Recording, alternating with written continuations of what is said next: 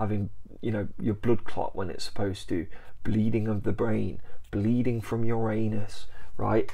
Uh, arguably, the side effect profile, even in the severe cases of ezetimibe use, is not as severe as that.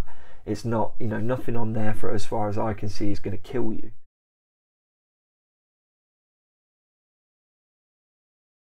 What's going on guys, this is Jacob from Sunday Lifters. In this video today I wanted to sort of look at the drug ezetimibe. It's something that I came across recently. I was watching a podcast with Leo Longevity. He had a he had a panel on a couple of other guys. Derek more more plates, more dates was was one of them.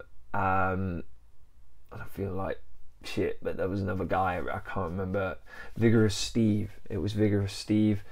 Um, those three were sort of doing a podcast together, and they discussed this um, drug called ezetimibe, which I'd not heard of before, but it was the way it was described to me, or, or I perceived it, was it, it sort of acted in a very similar way to how statins do in terms of their um, how they interact with lipids, particularly uh, low dense lipoproteins or bad cholesterol within the body, um, but also how apparently the, the side effect profile of ezetimibe compared to sort of your other sort of standard run of the mill um, statins was much lower. So I decided to do a, a load of research. I've been looking into this ever since I heard about it, just trying to figure out um, what it's all about and whether it did sort of live up to how it was, you know, described on that podcast. And and to be honest, from what I've seen, it, it, it does seem to be a really sort of slept on drug within the sort of realm of statins and sort of drugs that, that sort of lower LDL within us. Like it or not, we live in a world where cardiovascular disease and, and sort of cardiovascular related problems are pretty much the number one killer um, for people today. This seems to me to be quite an important area that needs looking into um, for that very reason. In 2015 to 2018, nearly 12% of adults uh, aged 20 and older had total cholesterol higher than 240 milligrams per deciliter, and 17 had high density lipoprotein or good cholesterol at less than 40 milligrams per deciliter. Uh, slightly more than half of US adults uh, who could benefit from cholesterol medicine are currently taking it. Nearly 94 million US adults aged 20 or older have total cholesterol levels higher than 200 milligrams uh, per deciliter. 28 million adults in the United States have total. Yeah, so you get the idea. Um, interestingly enough, it doesn't actually say anything about LDL specifically, which is a little bit fucking annoying because I didn't notice that when I was going over this, to be honest. Uh, it's all total stuff.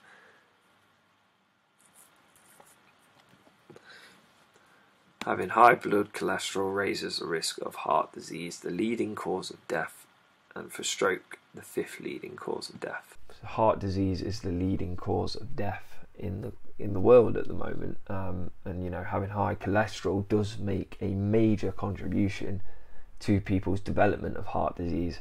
So also, um, you know, when people's um, sort of total cholesterol gets into a certain range, what starts to happen is you get inflammation and plaque buildup within sort of arteries, and it's actually when that plaque breaks off from arteries um, and goes into the bloodstream, it causes major blockages in, in sort of pivotal points within our sort of um, our bloodstream and our arteries, you know, like the sort of entry to the heart or going into the brain, and that is ultimately what ends up causing heart attacks and strokes. So we just have a little look at this as well. LDL cholesterol levels should be less than 100 milligrams per deciliter. Um, levels of 100 to 129 are acceptable for people with no health issues but may be more concerned for those with heart disease or heart disease risk factor.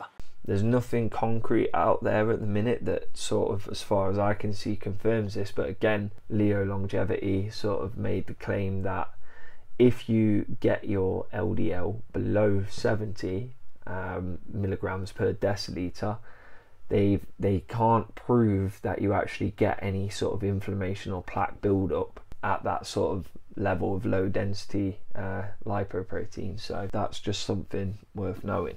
So yeah, I just wanted to go over them stats, sort of emphasize how much of a problem um, high cholesterol is in today's world. And I think it's general knowledge now that people know having a high cholesterol in general is bad, but I don't think people realize how at risk they are of being one of those people who does have high cholesterol. You know, there's a one in two chance that you are one of those people, basically. More than half the population of America have uh, higher cholesterol than is is deemed safe really first world countries are not going to be that far behind that statistic, including the UK. I'm just going to read like a sort of medical summary, an opinion piece, and a bit of a write up by a medical doctor named Paul Thompson. A lot of cardiovascular experts have got great interest in ezetimibe and its effects. Um, on its own and sort of teamed up with, with general purpose statins. I think Paul Thompson really does a good job in this piece of sort of summing up ezetimibe and how it's sort of perceived in the in the sort of pharmaceutical industry at the moment.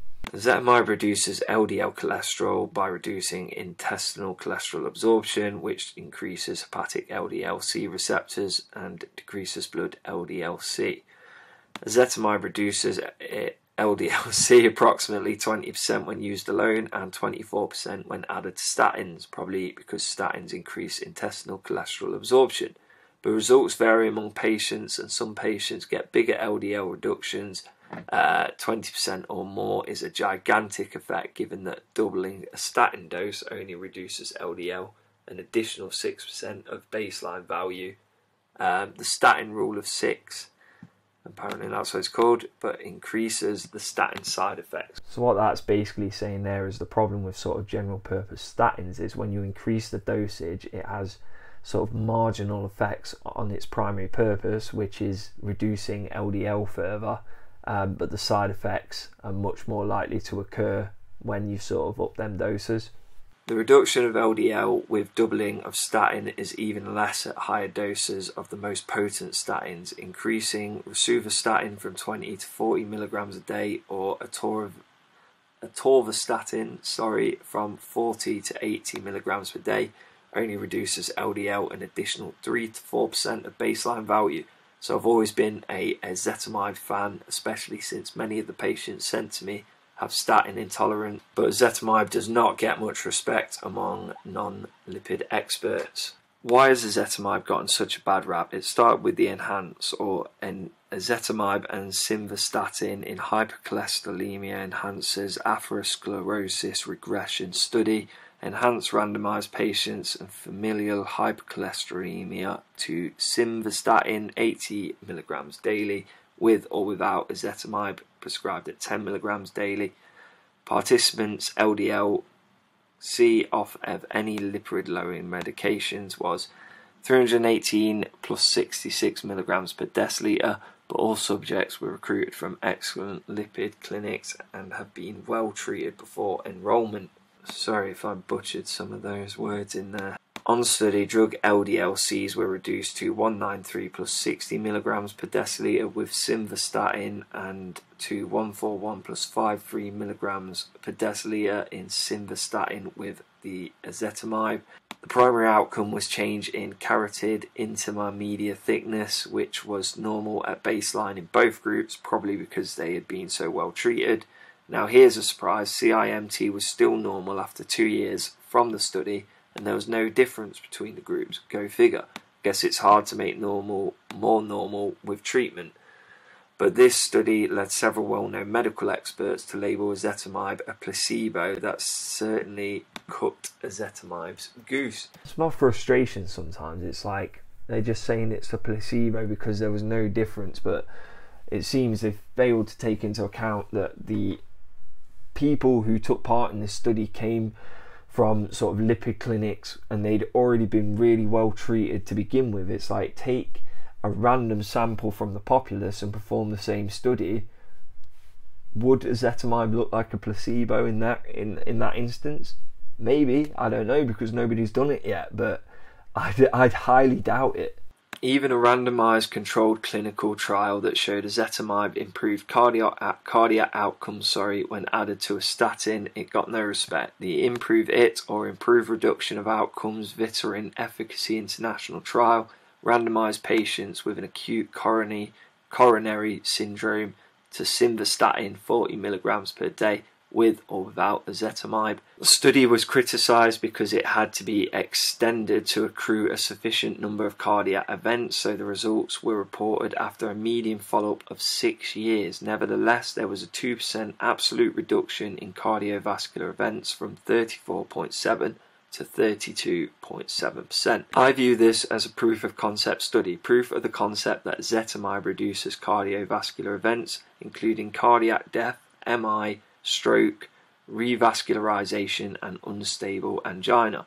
It took so long to see the effect because of treatment. LDLCs were so good in both groups and only slightly lower with ezetimibe, 53.7 versus 69.6 milligrams per deciliter. I mean, that to me seems like, you know, it's not massive difference, but it's worth noting for sure. There are now recent data demonstrating that ezetimibe is especially effective in older patients. This is interesting, actually. The absolute reduction in cardiovascular events in Improve It with ezetimibe was 0.9% for those under the age of 65. 0.8% for those aged 65 to 74, but 8.7 in those 75 or older. The curves for the oldest patients started to diverge in the first year. Among the patients less than 75 years old, only 11 needed to be treated to prevent one event, whereas amongst patients less than 75, you had to treat 125 patients to prevent one event. The absolute risk reduction was 10 times higher in those over age 75. This is probably due to the fact that cholesterol absorption increases with age. So I guess ezetimibe is a drug of interest to older cardiologists and therapeutically very useful in older patients, but I don't think ezetimibe should be restricted to older patients and cardiologists.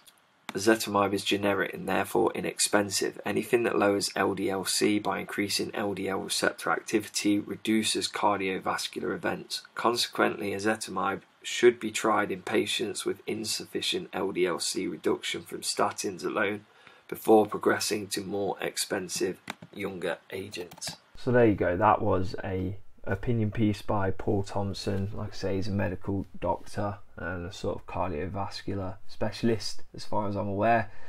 Um, I'm not going to tell you how to interpret that paper, but I just found that really interesting, um, especially like I say, because of the sort of um, the sort of way it's just been brushed aside by a lot of experts in the medical field. It just seems really strange to me, um, especially since when you look into the side effect profile, which we'll do now, it's it's no different from sort of some drugs that you can literally just buy over the counter in my country in the UK, but if you want ezetimibe, you've got to sort of get prescribed it, and the only way you're going to get prescribed it is if you already have a sort of high level of LDL cholesterol, which sort of eliminates the possibility of you know ever being able to use something like ezetimibe in conjunction with proper diet in practice and, and sort of a healthy lifestyle to reduce LDL and ultimately the sort of overall level cholesterol within people and possibly make a big reduction in, in you know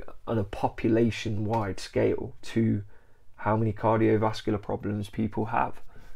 So, just on that note, let's just have a little look. Some of the side effects um, of ezetimibe, these are the more common ones and the less common ones. There are more up here, I'm not trying to hide that, but frequency not determined. Um, you know, it's some of those side effects. If the frequency is not determined, it, it literally can mean one person experienced this and they logged it. So I'm just going to cover the more common and less common because it's safe to assume probably one in 10 people would experience these and maybe one in 100 to 1000 would experience some of these depending on which symptom it is. So here we go. So you get more common fever, headache, muscle pain, runny nose, sore throat, less common back pain, body aches or pain, chest pain, chills, cold or flu like symptom, symptoms congestion, coughing, diarrhea, difficulty in moving, dizziness, dryness or soreness of the throat, uh, hoarseness, muscle pain or stiffness, pain in joints, pain or tenderness around the eyes, and so on. So, shortness of breath, stomach pain, stuffy nose, tender swollen glands in the neck, tightness of the chest or wheezing, trouble in swallowing, unusual tiredness or weakness, and voice changes. So probably going over that seems really bad when you look at it on the say on the on the face of it. Um, you know things like coughing, diarrhea, dizziness. Um, probably more serious ones being shortness of breath, stomach pain. Um, you know tightness of the chest, trouble in swallowing, whatever it may be. All these different things they do sound bad, but then all we have to do is look at the sort of common side effects of aspirin, which can be bought over the counter freely in the UK, and you can sort of use the two as a comparison. I'm not saying one's better than the other. Ideally, you don't want any side effects associated with any drugs, though, you know, the likelihood of that is also quite slim. But just let's have a look at aspirin. Common side effects conditions of excess stomach acid secretion, irritation of the stomach or intestines, nausea, vomiting, heartburn, stomach cramps. Rare side effects of aspirin a type of blood disorder where the blood, red blood cells burst called uh, hemolytic anemia, normal anemia, a decrease in uh, platelet clotting. Uh, uh platelets are just like um, little sort of um, I, I, believe they're cells. They're sort of like almost like blank cells found within the blood that sort of help clot when you know you sort of sustain damage. Large purple or brown skin blotches decrease blood platelets, like we were saying there. Um, so you know this is why people bleed out sometimes when they have too many aspirin low levels of white blood cells, bleeding within the skull, bleeding, uh, bronchospasm, stomach or intestinal ulcers, blood coming from the anus, damage to the liver and inflammation, bleeding of the stomach or intestines, a type of kidney inflammation called intestinal nephritis. So you can literally go down to your supermarket, buy aspirin, and if you're one of the unlucky people who has a rare side effect to it, you can end up not having, you know, your blood clot when it's supposed to, bleeding of the brain, bleeding from your anus, right? Arguably, the side effect profile, even in the severe cases of ezetimibe use, is not as severe as that. It's not, you know, nothing on there for as far as I can see is going to kill you. You know, bleeding, bleeding on the brain or the anus might. Which begs the question: It's like, why can't you buy a Zeta? If people could buy a ezetimibe over the counter, and it was used in a preventative way in sort of conjunction with healthy eating and general healthy lifestyle choices, regular cardiovascular exercise. It's like, you know, the fact that 54% of America have too high cholesterol and the leading cause of death in the world is, is sort of heart disease, cardiovascular related problems surely if this was able to be used as a preventative medicine as opposed to having to wait to get diagnosed with high cholesterol when you know problems already plaques probably already building up problems are already starting and let's face it most people are not going to be so concerned that they're going to be getting their blood works done a couple of times a year and checking what their sort of HDL their LDL uh, their lipid profile is looking like even though it's really easy to get done. You can get it done at Boots Pharmacy. You can get it done. Um, you know, there's there's private online clinics that you can go to. The NHS, of course. Um, people aren't going to be getting their blood work done and checking what their lipid profile is like. So if there's one thing I would like to do in this video, it's encourage you to get your lipid profile checked, get your blood work done, and find out what your LDL is.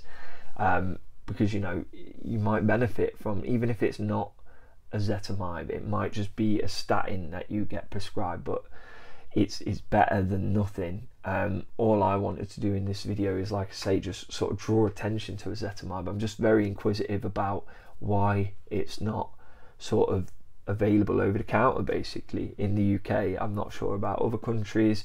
If you know more about ezetimibe than I do, which probably isn't hard, I've put it out on my Instagram, I've put it out in different places that I'm looking for people to let me know if they've been taking this for longer than six months at sort of the, the sort of efficacious dose of 10 milligrams um, a day.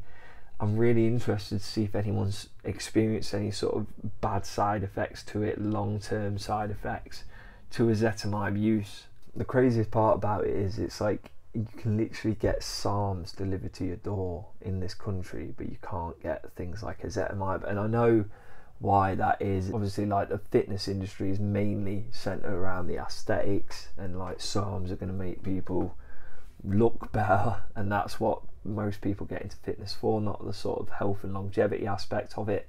So people aren't cooking up, um, you know, ezetimibe in sort of private labs and stuff like that. It's just not going to happen, is it? They're not going to be selling it online. But I looked everywhere just out of interest to see if I could get uh, ezetimibe online without a prescription, and I, I, honestly, I was looking for about an hour and a half. I couldn't find it anywhere. Um, whereas, as I will show you now, and don't get me wrong, I'm not giving away the website address. I'm not going to give you the name of the website or anything like that. I'm going to cover it over when we have a look, but I'm just showing you. You literally just go on a, a, a certain websites and get SARMs delivered to your door, which are way more dangerous than things like ezetimibe. So here you go, like what we covered last week, uh, LGD 4033 and RAD 140 here. I've just got rid of the pictures because I'm trying to be careful about how I go about showing you this. Um, but yeah, I've sort of checked out online um, the sort of authenticity of this website, and it would appear as though it is authentic according to people on Reddit. This is the real deal. Um, Trustpilot's actually given it a solid rating as well. Not only that, but the company who run this website have actually been registered as an official business on Companies House since 2014. So it's not even like you know this this company's come up in the past year or so. They've been about for quite some time, it would seem. So yeah, I just I just wanted to show you that, just to literally say it's it's fucking crazy to me that you can you can literally get selective androgen receptor modulators delivered to your door with all the problems we sort of covered that they can have in small dosages. You know, you can take RAD 140 at 10 milligrams per day, and it's gonna, you know, it could fuck your liver up. Take 10 milligrams per day of ezetimibe, and you have a you know kind of shitty reaction to it the worst thing you're going to probably get is a fever that's probably the most common side effect to this drug um, so yeah i just wanted to point out you can literally get things online that are going to sort of help you retain a sort of questionably healthy amount of, of lean muscle tissue and sort of affect your vital organs in in myriad of ways. But you know you can't get a drug that is probably going to stop you from having heart disease if used in like I say if used in conjunction with a healthy lifestyle and diet at the same time. I'm not saying here that ezetimibe is the be all and end all and that I'm not going to make the claim that everyone should be taking it and then you can just eat whatever you want. However as we did say part of ezetimibe's like sort of use is that it stops you absorbing dietary cholesterol in the first place. So in a way, it does play that sort of role in that you probably can be a little bit more unhealthy when taking the ezetimibes. But that's not what I'm trying to raise awareness of here. I'm just trying to point out that I think it would be great if we could get this preventatively rather than have to wait until somebody is sort of diagnosed at, or, or you know sort of diagnosed of being in a risk category, it'd be great if people could get their blood work done. And in the same way, you can buy aspirin over the counter, buy ezetimibe over the counter. That is something I would potentially like to see. However, I'm not an expert. I'm not a doctor. I'm not qualified in medicine in any way, which is important to say. I'm not giving out advice here. I'm just asking questions, just interested in the subject uh, and hopefully you are too and that's what brought you here so i'm going to end that video here guys thanks a lot again if you tuned in really appreciate it uh, if you want to follow what i'm doing you can head over to my instagram it's at sunday lifters um, make sure you drop this video a like subscribe and drop a comment whether you agree or disagree with anything I said. Like say, if you've got any sort of stories about ezetimibe, any useful info you want to share, please, please do drop a comment. I'm really interested in this right now. Um, you can get in touch via email. It's sundaylifters at gmail.com for workout plans, meal plans, and online coaching. Thanks again for tuning in, guys, and I'll catch you next time.